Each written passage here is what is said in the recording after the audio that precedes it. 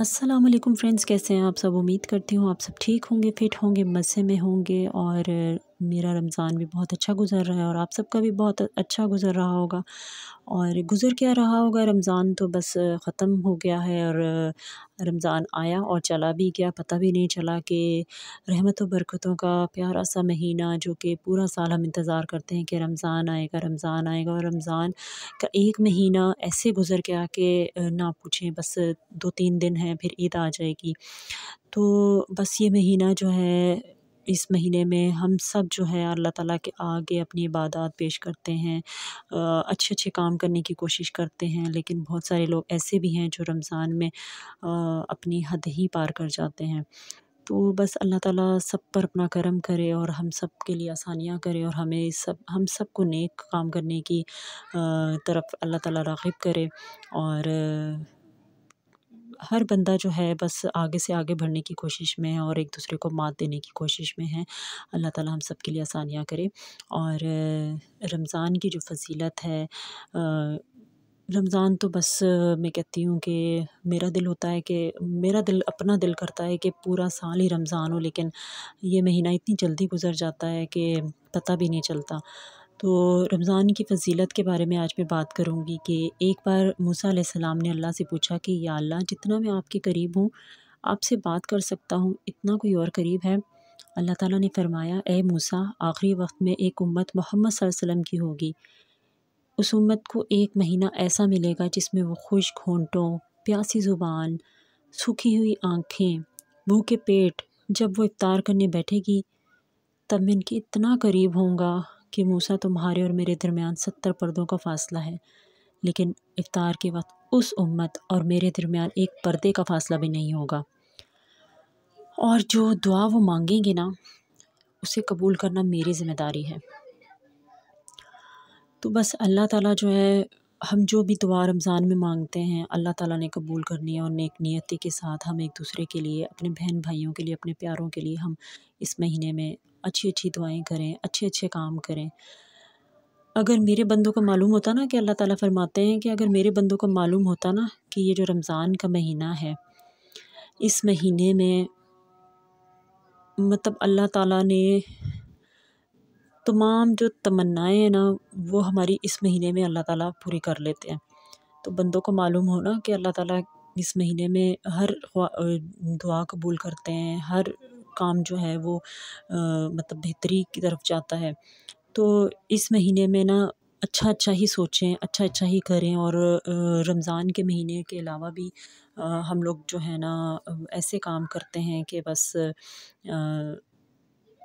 क्या कहे बंदा कि इंसान को चाहिए कि बस अच्छे अच्छे काम की तरफ़ ही जाएँ और अच्छा ही सोचें और सबके लिए अच्छा करें रमज़ान जब रमज़ान से हट के भी देखा जाए आम दिनों में तो तब भी चाहिए कि सबके लिए अच्छा ही सोचें सबके लिए अच्छा ही करें और आ, मैं जो हूँ ना रमज़ान की अहमियत जो है उसके बारे में भी बात करना चाह रही थी फजीलत के बारे में तो बात की है मैंने तो रोज़े की जो अहमियत है ना इसके बारे में भी मैं थोड़ी सी बात करना चाह रही थी कि हज़रत मोहम्मद वसल्लम ने फरमाया कि हर अमल जो है ना, आदमी का दुगना होता है। इसी तरह एक नेकी दस तक हो जाती है रमज़ान के महीने में ना तो यहाँ तक के सात सौ तक बढ़ती है। मगर अल्लाह ताला ने फरमाया कि रोज़ा ख़ास मेरे लिए है और मैं ख़ुद इसका बदला दूँगा। इसलिए कि मेरा बंदा अपनी ख्वाहिशें और खाना पीना मेरे लिए छोड़ देता है। रोज़ादार को वो दो खुशियाँ नसीब होती हैं, एक तब जो वो अफ्तार करता है, दूसरी तब नसीब होगी जब अपने रब से मुलाकात करेगा। तो उसका रब उसको बदला देगा तो वो खुश हो जाएगा। और कसम ज़ात की जिसके कब्ज़े में मोहम्मद सल्लल्लाहु अलैहि वसल्लम की जान है। रोज़ादार के मुँह की बू अल्लाह के नज़दीक मुश्क से ज़्यादा पसंदीदा है। रसूल सल्लल्लाहु अलैहि वसल्लम ने फरमाया कि जन्नत में एक दरवाज़ा है जिसे रायान यानी सैराब करने वाला कहते हैं। क़यामत के दिन इस दरवाज़े में से रोज़ादार जाएँगे और उनके सिवा इस दरवाज़े में से कोई नहीं जा सकता। क़यामत के दिन इस दरवाज़े में से रोज़ादार जाएँगे और इनके सिवा कोई इसमें से ना जा पाएगा। पुकारा जाएगा रोज़ादार कहाँ है? फिर वो सब इसमें दाखिल हो जाएँगे। मतलब कि अल्लाह ताला ने अपने बंदों के लिए रमज़ान का जो तोहफ़ा दिया ना, उसमें उसने बहुत सारी अपने बंदों के लिए ना रहमत, बरकत समेटने के मौके भी दिए हैं। और क्योंकि रोज़ा हम अल्लाह ताला के लिए रखेंगे तो अल्लाह ताला हमें तहफ़ भी बहुत देंगे। तो जो रयान दरवाज़ा है, उसमें से गुज़रने का सिर्फ़ रोज़ा, रोज़ादारों के लिए ही अल्लाह ताला ने बताया है कि हम जो रोज़ादार होंगे, वो ही उस दरवाज़े में से जा सकेंगे।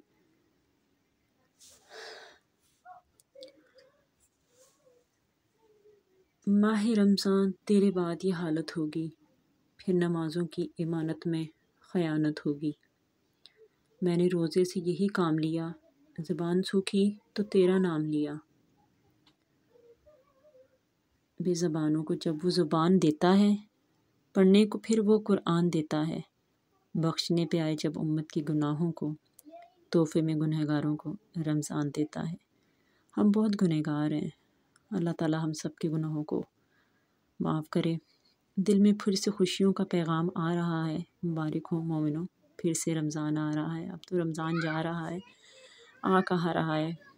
फरिश्ते कह रहे हैं, ये परवरदिगार से, सूरज शिकस्त खा गया है रोज़ेदार से। माशाल्लाह, अल्लाह ताला इस रमज़ान में जो जो हमने काम किए, वो सब कबूल करे, हमारी इबादत, हमारे नेक काम, हम सब के लिए आसानियाँ करे। नमाजियों का अब से लाभ आने वाला है, पता चला है कि रमज़ान आने वाला है। अब मस्जिदों का दायरा ज़रा बड़ा होकर बस एक माँ का मुसलमान आने वाला है। अल्लाह अकबर। कुछ मुसलमान ऐसे हैं ना कि वो उनके अंदर के शैतान जाग जाते हैं तो वो रमज़ान में बिना नमाज़ से दूरी भाग रहे होते हैं। तो बस अल्लाह ताला से दुआ है कि इस रमज़ान में हम सब पर अपना करम फजल बनाए रखे और जिन जिन के माँ बाप जो हैं वो इस दुनिया में हैं, उनका साया उनकी औलादों पर कायम दायम रखे और जिनके बहन भाई हैं जिनके प्यारे प्यारे रिश्ते हैं, अल्लाह ताला उन सबको इन रिश्तों से जोड़े रखे, सब पर अपना करम करे और जिनके रिश्ते नहीं हैं, अल्लाह ताला उनको भी कोई ऐसा वसीला दे कि वो उन रिश्तों को करीब से देखने का उनको जिस तरह बाकियों को मौका मिला है, वो नहीं देख पाए, लेकिन उनको कोई ऐसा वसीला दे कि वो भी ये रिश्ते निभा सकें। तो ये जो वीडियो आप देख रहे हैं, ये इसमें जो जो कुकिंग वगैरह देखी है, वो मेरी भांजी ने की है, चटनी सॉस जो है वो बनाई, मैंने मोमोज़ जो है डम्पलिंग जो हैं, वो बनाए, और ये अम्मी के घर की अफ्तारी है, और आखिरी अफ्तारी अम्मी के घर की हमने, और इसके बाद जो दिन है, वो हम बाकी अपनी जो हमने चीज़ें रह गई थी शॉपिंग वगैरह की, वो हम लेंगे इन ताला और जितनी अफ्तारी कुछ चीज़ें रह गई हैं, इसमें मैं नहीं दिखा सकी, लेकिन चलें, कोई बात नहीं। मकसद ये नहीं था कि मैं आपको दिखाऊँ कि मैंने अम्मी के घर में क्या क्या खाया। मकसद ये था कि माँ के घर की जो अफ्तारी होती है ना, उसकी बात ही कुछ और होती है। और यहाँ पे अफ्तारी करते हुए जब मुझे अपना बचपन याद आ रहा था कि अम्मी, शादी से पहले जब अम्मी के घर में होते थे तो अम्मी हम सब की प्लेट्स बनाती थी, उसमें पकोड़े, समोसे और खजूर और जो जो मतलब चीज़ें होती थी, वो हमें एक प्लेट बना के देनी। तो उसके बाद जो है हम अपना अपना खाते और हम बहन भाई एक दूसरे की प्लेट से उठा लेते थे। जब कोई एक इधर देख रहा होता है दूसरी तरफ़ देख रहा होता तो हम एक दूसरे की प्लेट से कुछ ना कुछ उठा लेते थे। तो जब मैं भी अम्मी के घर अफ्तारी कर रही थी तो मेरी प्लेट जब अम्मी ने दी मुझे पकौड़ों की तो उसमें पालक के पकौड़े पे भाई का दिल आ गया और छोटा भाई मेरा। तो मुझे कहने लगा कि ये पकौड़ा जो है वो मुझे दे दो। तो मैंने कहा मैं ना तो मैं ना जो है ना, अब यूट्यूब पे वाइट पे जाके ना मैं सबको फ्रेंड्स को बताऊँगी अपने के भाई ने मेरी प्लेट से पालक का पकोड़ा ले लिया था। और यकीन करें कि मुझे अपना बचपन याद आ गया और मैं फिर अपनी सिस्टर्स जो है, मेरी कुछ बहनें आपको जैसे सबको मैंने बताया कि मेरी दो सिस्टर्स जो हैं, वो मुल्क से बाहर होती हैं। तो कल हम सब थे यहाँ पे भाई, बड़े भाई जो हैं, वो भी अफ्तारी पे गए हुए थे। तो वो भी नहीं आए थे, उनकी फैमिली थी हमारे साथ। तो उनको भी बहुत मिस किया जो सिस्टर्स बाहर थी। बड़े भाई से तो चले, मुलाकात हो जाएगी, लेकिन जो सिस्टर बाहर है, छोटी और सबसे बड़ी तो उनसे मुलाकात नहीं हो सकी। मतलब कितने साल हो जाते हैं वो बाहर होने की वजह से उनसे मुलाकात नहीं हो पाती तो उनको भी बहुत मिस किया। और मैं यहाँ पे अल्लाह ताला से दुआ करूँगी कि इसी तरह हर साल हमें, हम सबको अपने माँ बाप के घर में दस्तरखान जो है वो बिछाने का मौका देना और हमारे माँ बाप का साया हमारे सरों पे कायम दायम रखना। अल्लाह जी, और हम बहन भाइयों को हमेशा खुश आबाद रखने, हम हम बहन भाइयों का साथ बरकरार रखना और हम सब के लिए आसानियाँ करना और हम सब के दस्तरखान वसी करना और हमारे दिलों में एक दूसरे के लिए मोहब्बत डालना और तमाम मुसलमान, फ़लस्तीन के मुसलमान, कश्मीर के मुसलमान, जहाँ जहाँ पे भी हमारे मुसलमान भाई, बहन भाई तकलीफ़ में अल्लाह ताला उन सब के लिए आसानियाँ करना और हमारे प्यारों पर अपना करम करना। मैं अपनी अम्मी के लिए बहुत दुआ करती हूँ मेरी अम्मी ने इस साल रोज़े रखे और हार्ट पेशेंट होने के बावजूद, शुगर पेशेंट होने के बावजूद, माशाल्लाह मेरी अम्मी ने सारे रोज़े अभी तक रखे हैं। अल्लाह ताला उनके लिए आसानियाँ करे। आप सब दुआ में याद रखिएगा। अल्लाह हाफ़िज़। अस्सलाम वालेकुम